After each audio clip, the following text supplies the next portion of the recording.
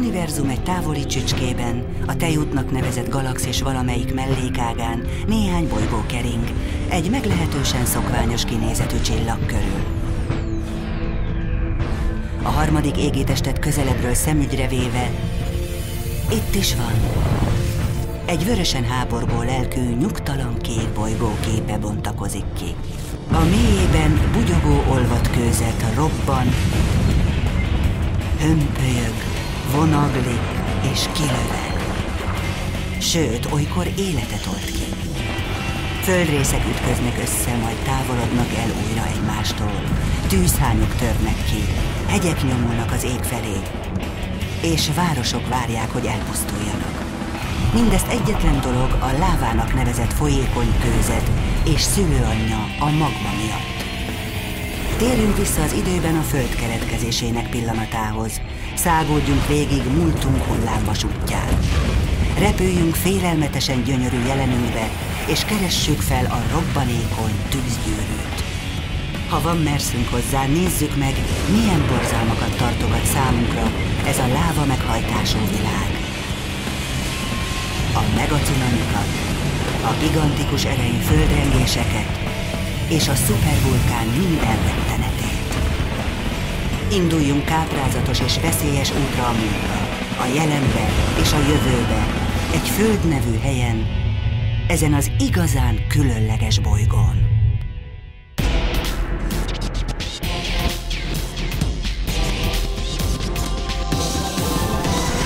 A különleges bolygó.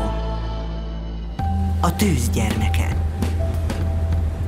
Üdvözöljük a Mennyországban. Ahonnan a pokolra nyílik kilátás. Ez az úgynevezett Nagy-sziget, a Hawaii szigetek közül. Itt található a Kilauea, az egyik legaktívabb tűzhányó a Földön, amelynél talán nincs alkalmasabb hely ahhoz, hogy átérezhessük egy önmagát megszülő bolygó fájdalmait. A költő ezt a kürtőből kicsorduló és kilövellő, csodás, veszélyes anyagot izzóvérnek mondaná, amelyet a forró és eleven föld vörös szíve pumpál ki magából. Pedig a gyomorrontás találóbb hasonlat volna. Jelen esetben egy bolygó böfög, okádik, öklendezik, reszket és eleget gázokat, orfacsaróan bűzöseket. Legyen bár dobogó szív, vagy elcsapott gyomor, a láva az egyetlen konkrétum számunkra a föld belsejéből, ahol olyan dolgok születnek és halnak meg, amelyek mellett a bolygó emberi lakosainak összes megnyilvánulása eltörpül. Mi van a mélyén? Alig, hanem többet tudunk a hold, a nap és a csillagok belsejéről, mint saját planétánk szívéről. Ez a vörös hírnök tehát nem csak lenyűgöző, de igen becses is. Kövessük a lávát a kürtőn át az otthonáig, és nem sokára egy hatalmas, olvad gömbben találjuk magunkat, amely a föld térfogatának zömét kitölti. A köpenget. A felhevült, sűrű kőzetanyag úgy hömpölyög, mint a karamella a tüzön. A köpeny olyan lassúsággal áramlik, mintha visszajátszásban néznénk. Mint egy 3200 km mélységben elérjük a föld magját. Évmilliókba is beletelhet, mire az olvadék a felszínre kerül. Például egy Hawaii nevezetű gyomorrontás formájában. Hogy egy pillanatra láthassuk, mire képes a láva, csapoljuk le az óceánt, és vitorlázzunk el a Hawaii szigetek mentén, amelyek mindegyike vulkángyerek. Délről északra haladva a szigetek mind nagyobbak és öregebbek lesznek. Közülük a legfiatalabb Loihi most lávát okád, bár még vagy 50-100 ezer évig nem érje el a felszínt. És ott a nagy sziget az öt tűzhányójával. A tengerfenéktől a csúcsukig mérve olyan magasak, mint a Himalája. Aztán, ahogy északabbra jutunk, a szigetek egyre kisebbednek. Folyamatosan süllyednek és pusztulnak, korban pedig egyre vénebbek. Mindegyik, mint az összes szárazföld, lávából született.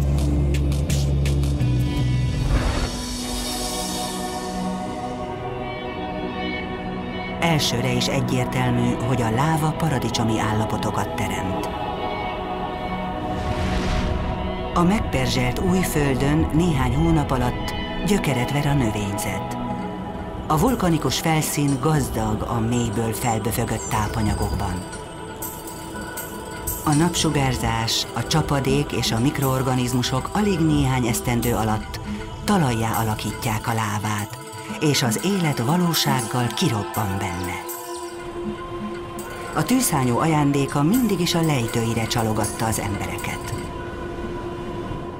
De ami itt édenkertet hozott létre, az másút döbbenetes erejű rombolásra volt képes.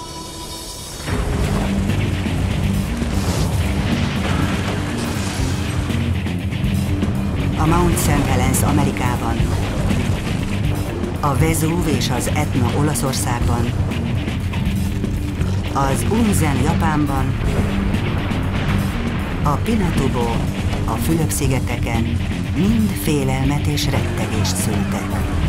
Nem csupán a vulkánkitörések, de a láva meghajtású világ egyéb borzalmas erői, a földrengések, a szökőárak, a földcsuszamlások és egy sor más halálos jelenség miatt is.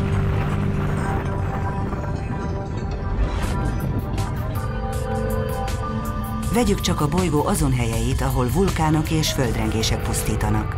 És a világ már is úgy fest, mintha dr. Frankenstein fércelte volna össze.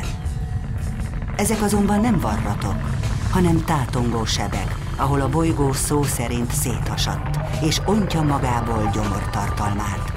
De talántán tör zúz, és elevenen emészti fel önmagát. E varratok mentén pusztít a legtöbb földrengés, és robban fel a legtöbb vulkán. Mitől ilyen nyugtalan ez a bolygó? Miért rázkódik hevesen a föld? Törnek ki robbanékony erővel a tűzhányok, és gyűrődnek fel elképesztő magasságokba a hatalmas hegyláncsolatok.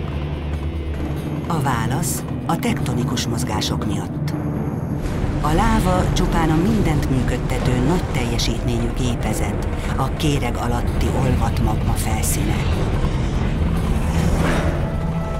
A földkéreg tucatnyi különböző méretű darabra, kőzet lemezre töredezett széjjel, amelyek úgy cikáznak, mint valami planetáris dodgemek.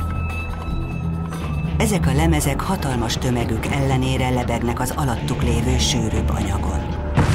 A lemezek kontinentális részükön a legkönnyebbek. Gránitszerű kőzetanyaguk, amely számunkra kellőképpen nehéznek tűnik, olyan, mint valami hungarocell az alatta lévő matériához, az olvasztó tégelyben fortyogó magmához képest. Az egyes kőzetlemezek határa nagy részt láthatatlan, mivel az óceánok alatt rejtőzik. A műholdaknak és szonároknak köszönhetően azonban tudjuk, merre húzódnak, és mennyire döbbenetesek. Söpörjük félre az óceánokat, és hosszú tenger alatti hasadékvölgyeket látunk, ahol a föld ketté szakad, és ahol a bolygó a legmagasabb hegyláncait köpi ki magából. A lemezek itt távolodnak egymástól, olyanok, mint két ellentétes irányban haladó futószalag. Az űrt kitöltő láva nyomán új kérek keletkezik. A víz alatti szivárgás nagy részt párna lávaként ölt testet. Ahogy a forró láva az óceán hideg ajzatára ömlik, a kerekdett buborék azonnal megdermed.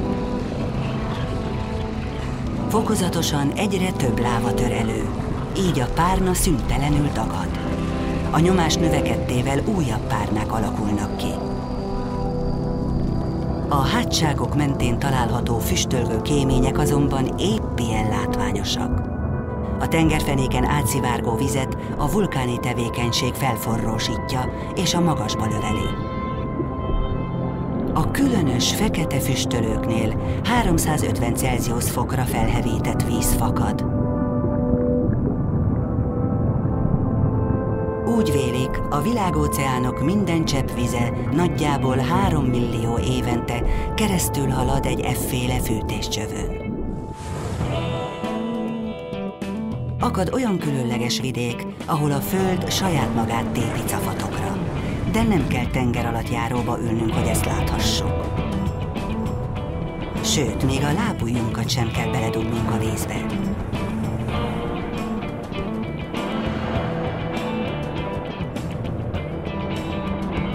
Izlandról van szó, ahol az óceáni hátság valahogyan a szárazföldre került. A föld itt a saját levében fő. Az emberek nagy örömére, akik szívesen mártoznak meg a geotermikus energiától fűtött, a fekete sziklából és kékes-fehér jégből álló, sokszor barátságtalan tájat tarkító meleg fürdőkben. Geológiai értelemben itt is fél lábbal Amerikában, féllel pedig Európában járunk, mivel ezek a sziklák képezik a két kőzetlemez határmesdjéjét. Ha 40 évig állnánk itt egy helyben, lábaink mintegy 180 cm-rel távolodnának el egymástól.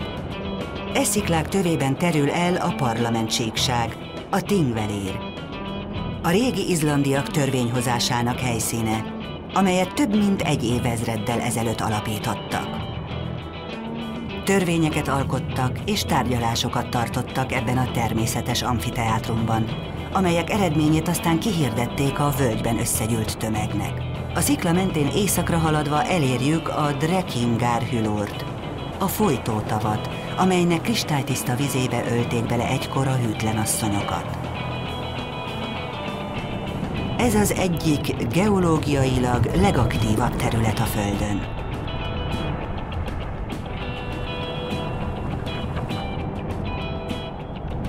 Vulkánkitörések még Izland káprázatos gletszerei alatt is előfordulnak. Még a látszólag békés pocsolyák és a sziget mélyén forrongó erőszakról mesélnek. Ha várunk néhány percet. Amikor a vízszint elkezd emelkedni, nem árt, ha hátralépünk egyet.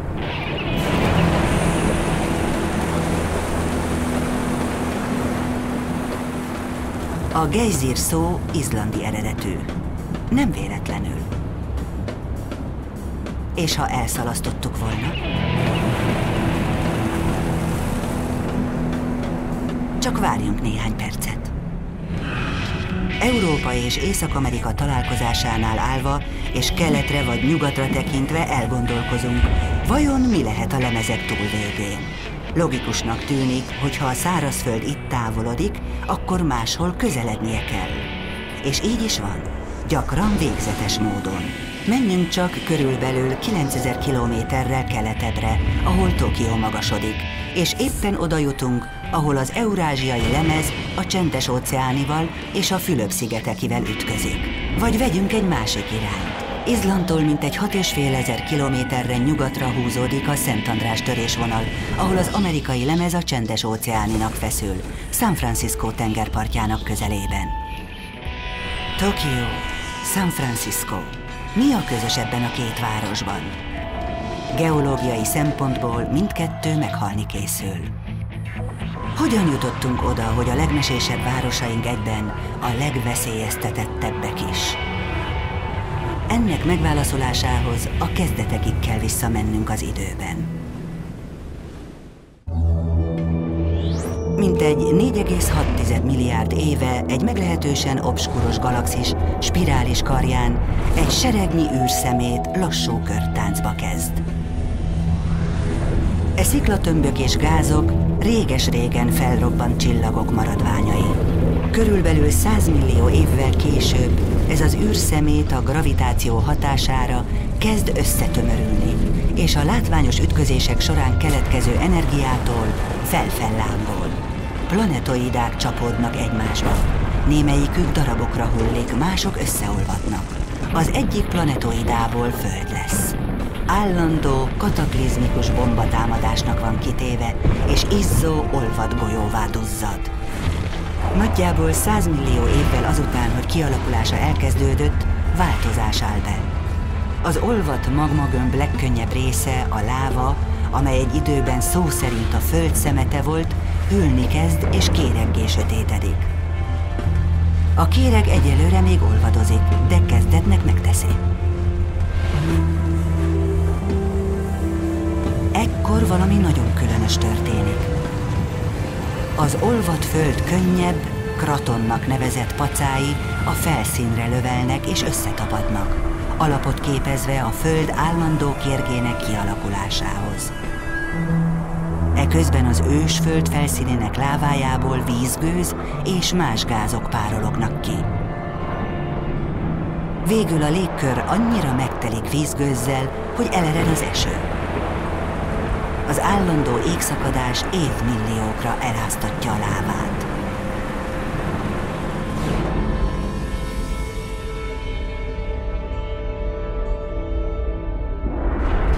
Ha ekkor átrepülünk a föld felett, a vörösen izzó égbolt alatt hatalmas szürke óceán sejlik fel, amelyből tűszányok és kisebb szárazföldek emelkednek ki.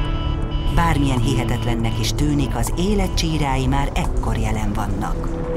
Az élet az óceánban, amelynek létünket köszönhetjük, az egyre ritkuló, de meg sosem szűnő kataklizmikus bombatámadások következtében többször is semmi lett. A Föld kezdett végleges alakot ölteni. Elnyerte kérgét, azt a bőrt, amely egy papírlapnál is vékonyabb volna, ha a bolygót kosárlabda méretűnek képzelnénk. Alatta az olvat, félig szilárd köpeny, amely rendkívüli lassúsággal hömpölyög. Végezetül a két mag. Egy folyékony vasmag, amely mágneses teret hoz létre, és véd minket napunk halálos kozmikus szelétől. És egy belső, szilárd nikkel és vasmag. Eddigre beindultak a különös tektonikus mozgások. Bár azt, hogy az egész pontosan miként és mikor kezdődött, nem tudjuk. Ami most fog következni, ahhoz érdemes becsatolni a biztonsági övünket. Göröngös út lesz, az biztos. Nos, a következőképpen történhetett. Először a kratonok és egy úr kontinens birtokolták a bolygót. Aztán körülbelül fél milliárd évvel később testet öltött Arktika. Mint egy újabb fél milliárd év kellett ahhoz, hogy Atlantika is kialakuljon. A földrészek külön-külön haladtak, míg nem az Arktika körülbelül 1,8 milliárd éve összeütközött a mostani Antarktika keleti részével, és létrejött Néna. Majd Néna, Atlantika és Úr egy milliárd esztendeje egymásba olvadt, és létrehozták a Rodinia nevű szuperkontinenst. Nagyjából 300 millió év elteltével a három földrész ismét elszakadt egymástól, aztán megváltozott formában Pangeaként újra egyesült. De Pangea is széttöredezett. Amikor ez megtörtént, Úr és Atlantika is darabokra szakadt. Nehéz követni? Nem csoda.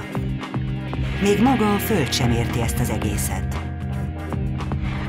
Mindez a mozgolódás különös szomszédságot eredményezett akkoriban. Észak-Amerika keleti partja egykor Csillének feszült. Kalifornia és Ausztrália szomszédok voltak, ha éppen nem nőttek össze. Brazília pedig Nigériával volt határos, vagy legalábbis nem esett messze tőle.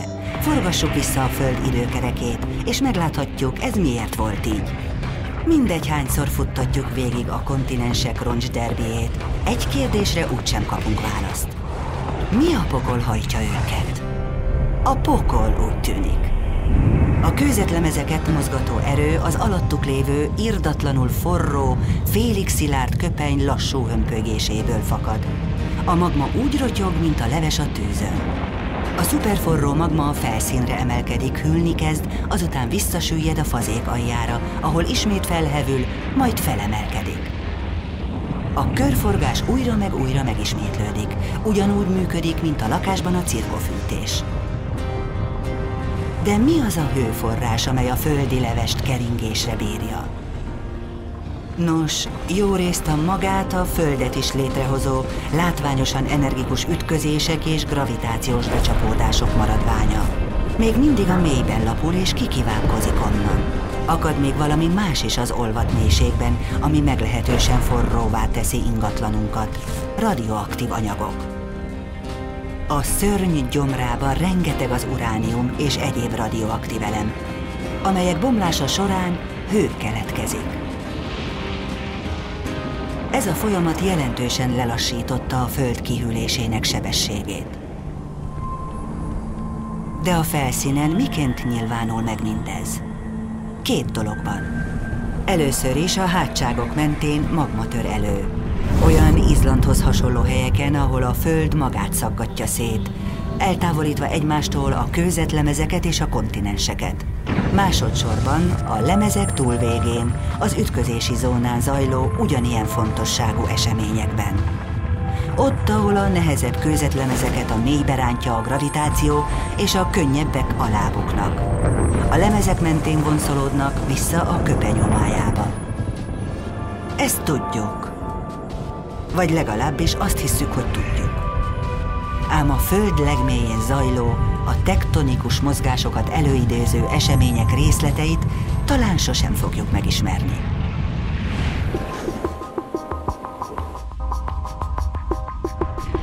Abban azonban napjaink tudósai gyakorlatilag egyetértenek, hogy bolygónkon szinte mindent a lemeztektonika határoz meg, beleértve maga az élet kilátásait is.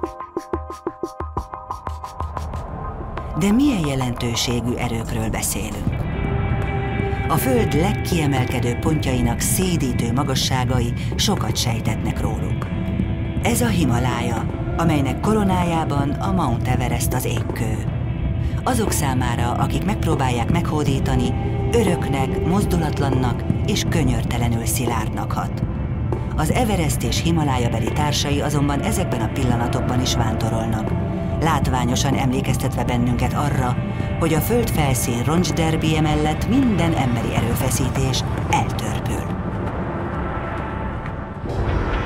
A világ száz legmagasabb hegycsúcsa közül 96 a Himalájában tornyosul. Mind közül a legmagasabb, a Mount Everest 8848 méteres magasságban döfi át az égboltot. Odafent az Everesten, túl azon, ahová az épelmélyűek közülünk valaha is felmerészkednének, érdekes dolgokat találni, kövületeket, háromkaréjú ősrákok fosszíliáit, amelyek közül néhány több mint 500 millió éves. De hogy kerültek ide a repülőgépek utazási magasságába?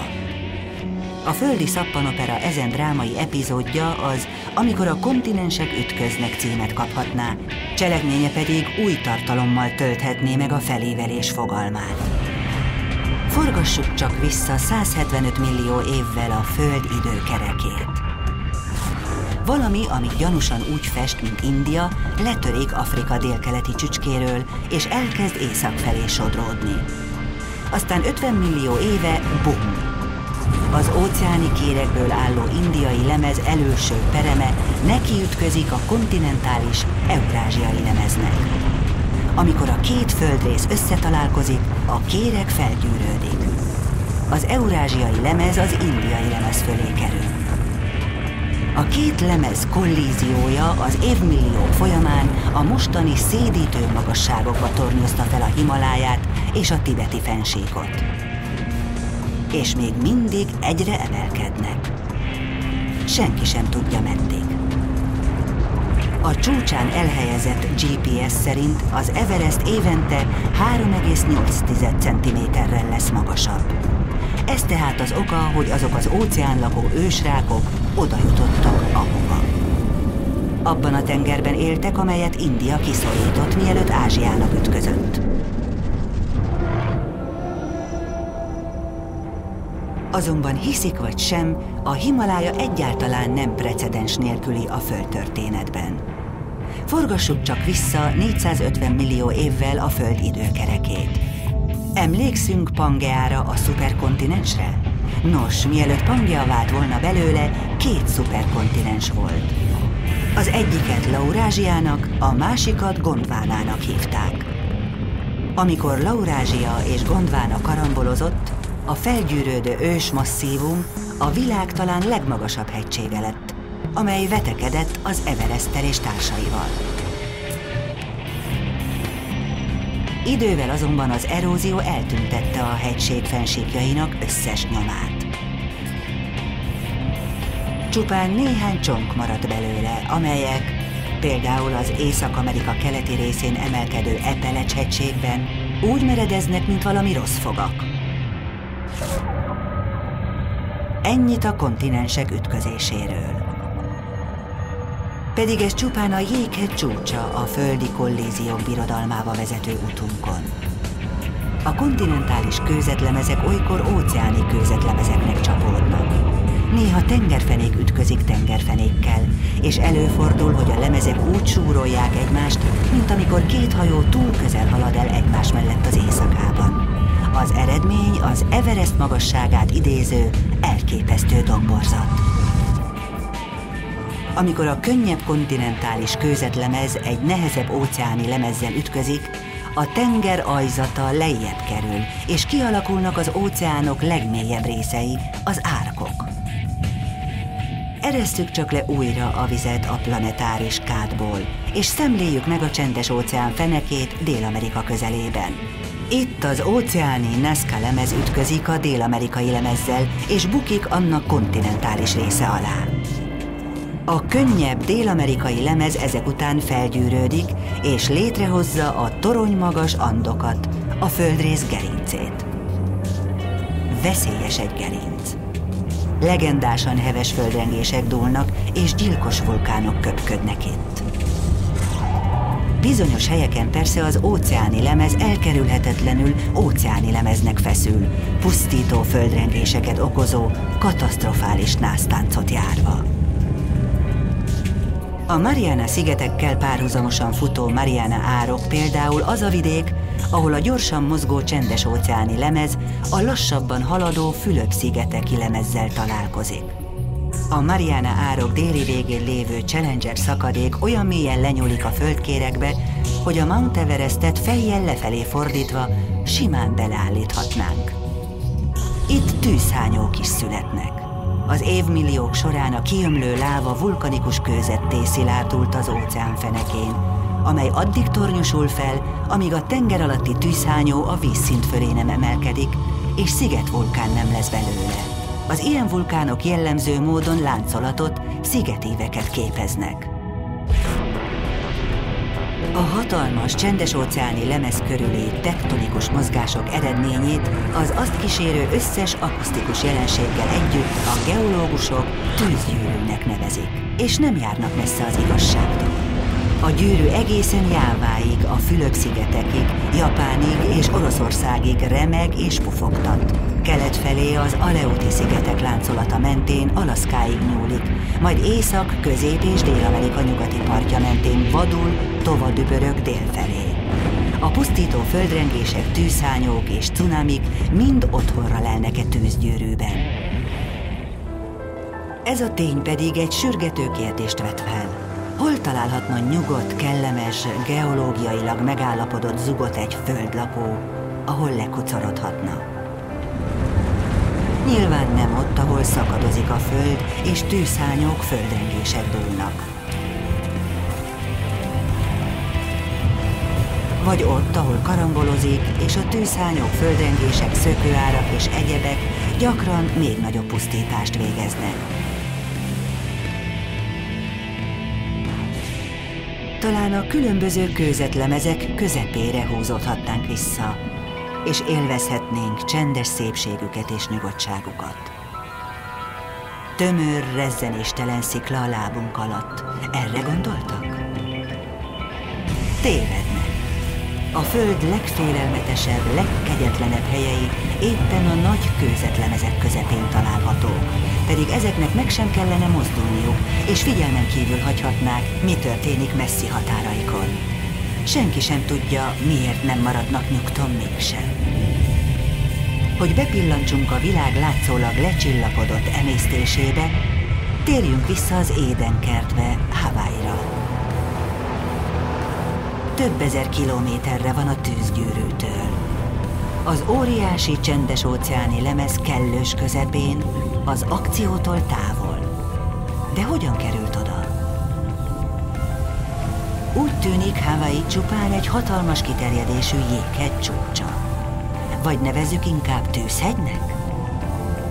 Jó néhány hozzá hasonló hely akad a világban, amelyek épp olyan szeléd és idilli szigetek, mint Hawaii. forrópontoknak nevezik őket. De ne dőljünk be a látszatnak. Van itt egy vulkanikus forrópont, amely bármelyik pillanatban eltüntetheti a világot, ahogyan mi ismerjük. Szeretnék tudni, melyik az a tűzhányó, amelyik minden turista fotón szerepel, miközben emberek százezreit ölheti meg, és potenciálisan elpusztíthatja a földi életet, vele együtt mindannyiunkat. Ideje, hogy megtegyünk egy újabb kört a lávamotoros világ parázsló, robbanékony zászlós hajóján, a vulkánokon.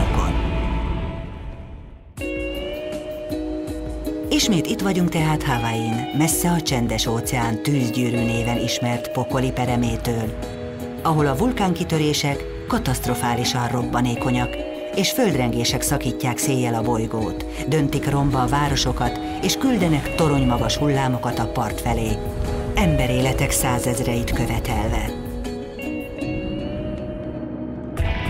A láva itt többnyire csak lustán szivárog az alapjáraton üzemelő tűzhányókból.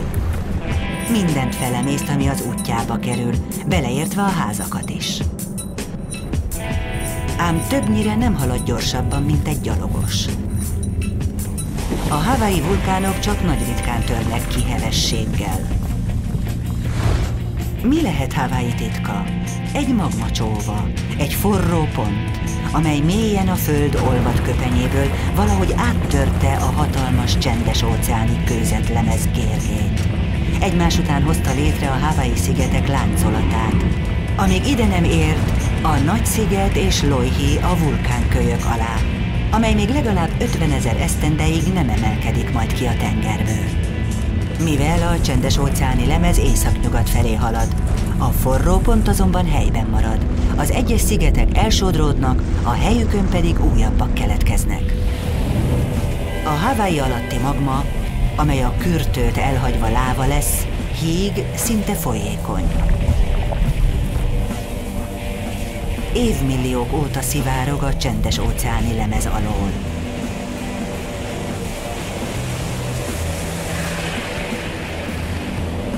rétegről rétegre csak nem sík lávamezőket képezve, amelyeken a tengerfenék felől lassan lankás vulkánok épülnek fel.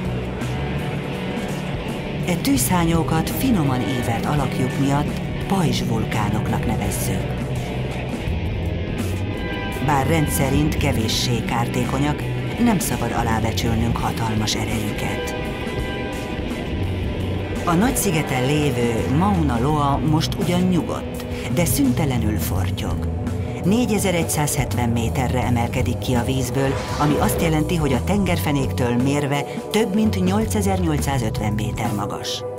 Ez a pompás földtani képződmény magasabb lenne az Everestnél, ha a java nem volna víz alatt. Hawaii lassan jársz tovább érsz mentalitása a lomhán hömpögő lávából fakad, amelynek két alakját különböztetjük meg, a Pahoehoét és az Aát. A Pahoehoe sima vagy kötésszerű láva folyam. A vulkánokból kikerülő láva nagy része ilyen. Az AA sűrű, egyenetlen és töredezett. A legenda szerint arról a hangról kapta a nevét, amit azok az emberek hallattak, akik megpróbáltak mezitláb átsétálni borotva éles, tűkkel tele tűzdelt felszínén. De ez csak legenda. Az AA a Hawaii nyelvben valójában kövest jelent. A Hawaii láva folyamok emberemlékezet óta igen kevés áldozatot szedtek. Az elmúlt évszázadban talán ha ötöt illetve az 1700-as években mintegy száz ember volt éppen rossz helyen, rossz időben. Hasonlítsuk össze azzal, amit a vulkánok máshogy műveltek. Az indonéziai Krakatau 36 ezer embert ölt Kitörésének zaja az egyik legdübörgőbb hang volt, amit emberi fül valaha is hallott. A karibi peléhegy 30 ezer emberrel végzett. Az olaszországi Vezúv és Etna még ezrekkel többen. Ennyi volt a tűzhányok közvetlen áldozata. De nem számoltuk azokat a százezreket, akik a még ennél is nagyobb vulkánkitörések következtében megváltozó klíma és a termés éveken át történő kiesése miatt vesztették életüket. Miért van az, hogy azok a vulkánok, amelyek neve visszhangzik a történelemben, nagyot durrantak, ahelyett, hogy szörcsögtek volna? Miért olyan borzasztóan más ez, mint ez, vagy ez, vagy ez? Valódi tűszányóknak tűnnek, és úgy is ölnek, mint egy igazi vulkán. Kúp alakúak, füstölögnek, morognak, aztán kitör a pokol. Íme a kompozit vulkán, az úgynevezett stratovulkán halálos pompája. Ellentétben a Hawaii pajzsvulkánokkal, amelyek laposak és szélesek, a kompozit vulkánok magasak, meredeken évelnek és durvák. Lejtőik meredeksége egyértelműen utal pusztító erejükre. További híres kompozit vulkánok a Japánban lévő Fuji-hegy, az ekvádori Cotopaxi, a kaliforniai Shasta és Lesson, a Washington állambeli St. Helens és Renier, és a Fülöp-szigeteki Pinatubo-hegy. Egyesek szunnyadnak, mások füstölögnek vagy várakoznak. Miért? Úgy tűnik a láva személyisége helyenként meglehetősen eltérő. Bizonyos vidékeken kifejezetten roppanékony. Íme az Unzen-hegy lávája Japánban. Figyeljük meg, hogy nem siet, folyik, fröcsköl, vagy csinál bármit, ami egy kicsit is vicces volna. Ez pedig a Monserrat, ahogy ül itt magában, tagba szakadt, mogorva, felfúvódott és totálisan levert. Ha megkérdeznénk tőle, hogy érzi magát, azt felelné jól, és füstölögve, forrongva elfordulna. Még nagy hőmérsékleten sem olvad meg, túl ragacsos hozzá. Egy füstölgő, természetes bombasilóba csúcsosodik ki. Nyomjuk meg erősebben a földköpenyt, és a láva izzó hamufelhőt eresztve ki magából, darabokra törik. Ami felmegy, annak le is kell jönnie. A lángoló hamu gonosz törmelék árként tér vissza a földre. Égő lavina, kemence forróságú anyagból, amely olyan sebességgel robog, mint egy szupergyors vasút. Ez állította meg az időt Pompei szegény római lakosai számára, akiket menekülés közben lepett be az izzóhamu. Ez nyelt el egy japán falut, miután megölt néhányat a világ legtapasztaltabb vulkanológusai közül. És ez volt az oka, hogy egy karibi édenkert Montserrat nevű fővárosa romba dőlt. A tűzhányó mind a mai napig fenyegetően okádja a füstöt. Az efféle stratovulkánok a világon mindenütt gyűjtik magukba a robbanószert. Kotlanak rajta és füstölögnek, arra a pillanatra várva, amíg a magma meg nem gyújtja a láva kanócát, és az fel nem robban. Hihetetlen, de annak ellenére, hogy mekkora pusztítást végeztek ezek a vulkánok az emberek között, eltörpülnek amellett a durvaság mögött, amit a lávavilág tartogat számunkra. Most elérkeztünk a lemeztektonika három nagy időzített bombájához, amelyek a Föld jövőjében lapulnak. A szupervulkánhoz, a szuperheves földrengéshez és a megacunamihoz.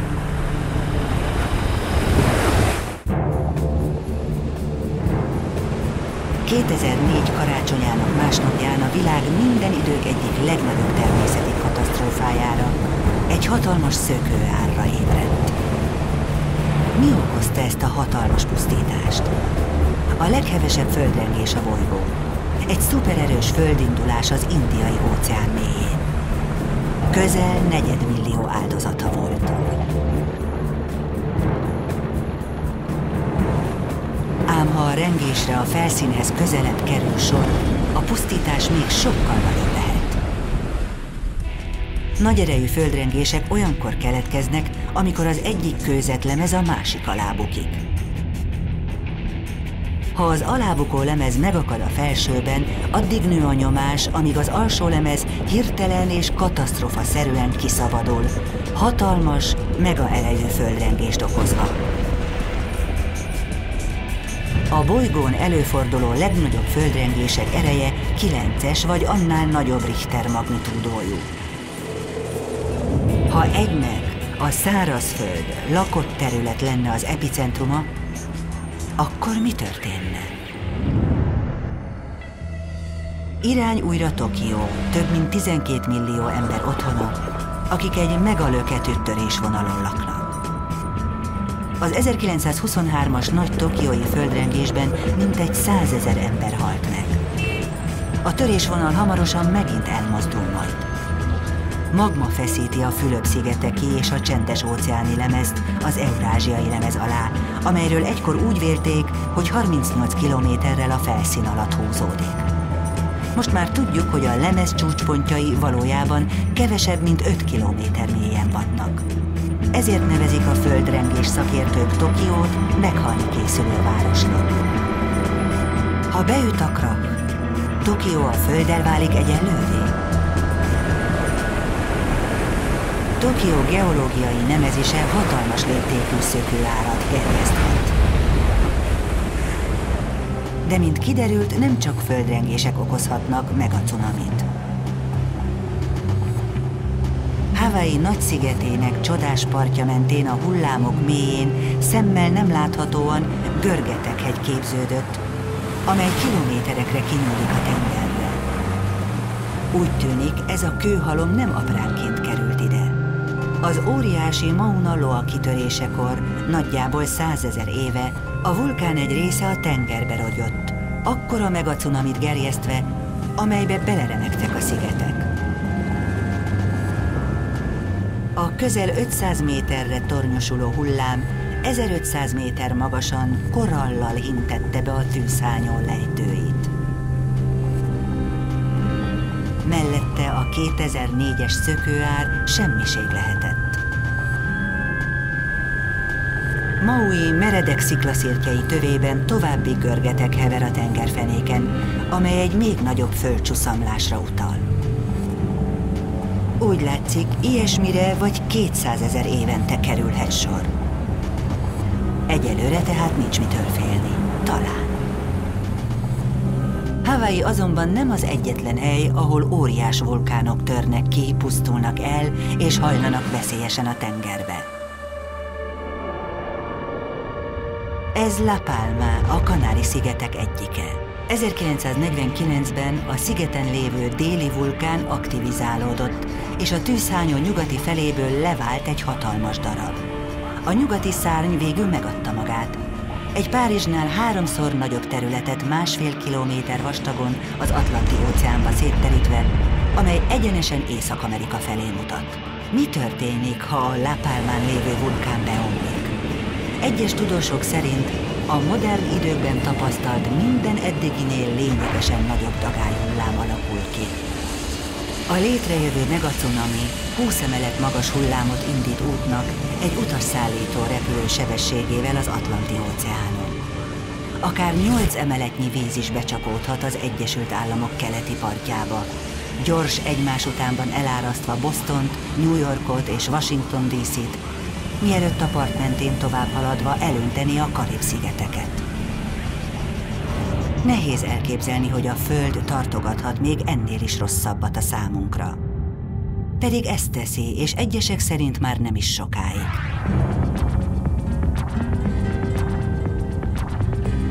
Ehhez fogható táj nincs még egy. Több itt a gejzír, mint bárhol másutt a világon.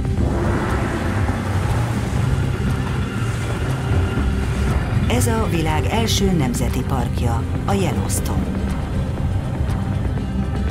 Amerika legfontosabb turista csalogatója azonban egyúttal elképzelhetetlen méretű időzített bomba is. Valami olyan halálos, ami elkerülhetetlenül térdre kényszerítheti a civilizációt. Már a Yellowstone-t felkereső első geológusok is jól tudták, hogy mindezen szépség kínos geológiai alapokon nyugszik.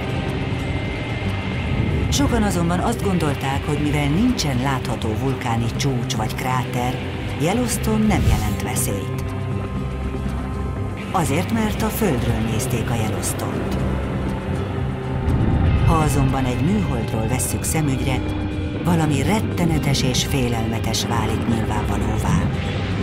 Szinte az egész park egyetlen kráter. Egy durván 80 kilométer átmérőjű kaldera. A Yellowstone az egyik legritkább és legborzalmasabb geológiai jelenség a Földön. Maga a szupervulkán. Mint kiderült, a Yellowstone a Hawaii szigetekhez hasonlóan forró pont, ahol a köpenyből tör fel a magma. Akárcsak Hawaii, Yellowstone is mindig valamennyire aktív. Csodás hang és fénybemutatói elkápráztatják a közönséget. De ellentétben Hawaii-val, ha a Yellowstone durran, akkor igazán durran. A felszín alatti magma jóvoltából Yellowstone lélegzik. A föld itt gyakran több métert is felle mozog. A tudósok azt jósolják, hogy ez a duzzadó, olvat láva egy nap átrobban a föld kérgén. Csak az a kérdés, hogy mikor. A Yellowstone nagyjából 600 ezer évente tör ki. Utoljára mintegy 640 ezer esztendeje szólt egy nagyot. Oh -oh. Egy szupervulkán legutóbbi kitörésére a szumátrai Tobában került sor 74 ezer éve. 5000-szer akkora volt, mint a Mount Szent Helenszé, és örökre átformálta a földi életet.